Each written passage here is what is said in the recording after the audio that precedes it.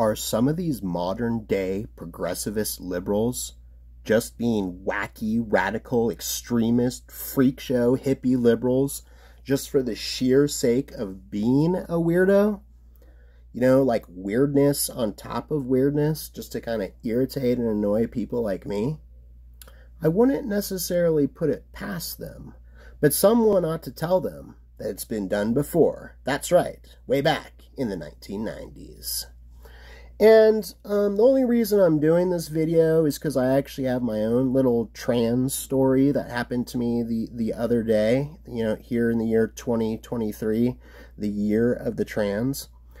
But before we get to that, uh, let me just quickly say that I usually don't do political videos. Um, I did one about two years ago, and the purpose of that video it was entitled Why We Shouldn't Let Politics Divide Us So Much, is to try and bring Americans back into the middle. I don't understand why uh, you can't see the viewpoint of the other side like I can. And, you know, I used to be liberal when, when I was younger, and then I kind of went more conservative. Now I'm just kind of uh, middle right, you might say. But um, I did complain in the video a little bit about the trans swimmers um, in the uh, the female sports, and to me that just seemed a little bit unfair. I don't know what the solution is, but um, the purpose, you know, this happens like the affirmative action where you're trying to do something to make things more fair, but really you're you're doing the opposite of that. So I, I don't know what the solution is, but I'm glad to report that here we are two years later and the general public is beginning to come back into the middle on that one. And, and, you know, that's different than like Amy Schneider here, who was on the Jeopardy for 39 days straight. That's where, you know, it's not like a physical activity. But a lot of this stuff is physical stuff. Like uh, in Canada, I guess all you have to do is announce that you feel as though you're a woman inside and you can enter like the weightlifting tournaments and stuff. So apparently that's what happened. Some guy did that um, under Justin Trudeau, Trudeau's um, reign up there. And um, I, don't, I don't know what the solution is to this stuff, but to me it just seems unfair to the uh, to the female born athletes. So I'm glad to see that people are pushing back on that. I guess uh, I guess they also just erased the uh, affirmative action too, which which is, I'm glad to see there. Look at this guy. He bump, bumps his head, forgets to salute our military. Oof! And you know, you start getting too liberal in these policies and just going nuts here. You stepping where you don't know where you're stepping. You know, so this stuff can get to be dangerous it's not reflective of the strength of this country, I, I don't think. And so uh, I think we better come back to the middle. And uh, anyways, back to my trans story. So I'm on the patio of this hot dog and Chicago-style hot dog and hamburger place called Mustard's Last Stand, which sits right across from the University of Denver, which, if anything, used to be a very conservative school.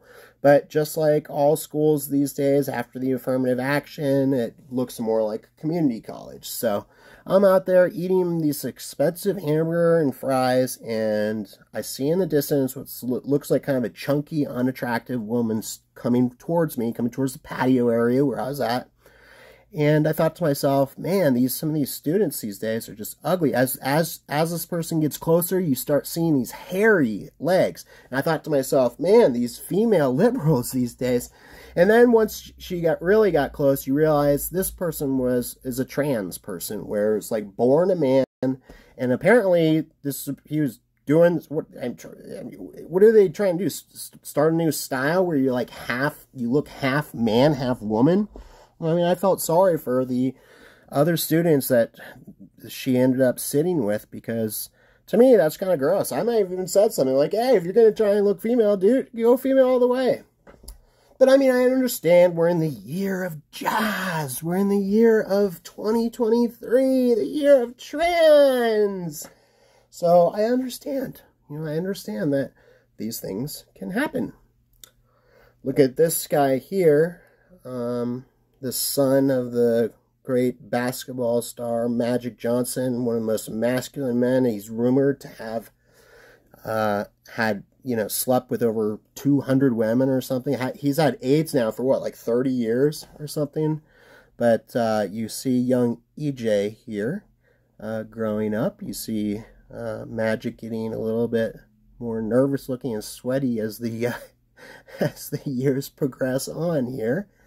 And uh, they say that you know the apple doesn't fall far from the tree. This happens all the time. Like a, you could be the most masculine gangster or something like that and have a uh, you know a gay son. Not uncommon at all. So look how you have progressed there, young EJ. Good for good for you. So um, here's another trans that was on uh, on Jeopardy the other day. So, but you know, can this stuff go too far where you like, you know, like the, the half woman, half man stuff, or when you throw a teacher like a trans in a conservative school out in the suburbs, is that going too far? You know, and and and one even dares to ask, is it possible that uh, these people are just doing this just for the sheer sake of being a weirdo. Here's Amy with her his, the new wife there. So that that's a little bit strange. Does anybody else find that to be a little bit strange that this person uh, has what looks like a, just a normal female wife, but yet if you feel like you're a woman inside, like like she does, um, and that's kind of so i guess her inner woman's inside is also a lesbian i don't get it and then also you know what about the wife there? I mean her she decides she wants to grow up and marry a man that dresses like a woman? You know i mean is this person going to be in a bar like in san francisco like 25 years from now and being like jokes on you. You know i was the guy that was on jeopardy that dressed up like a woman.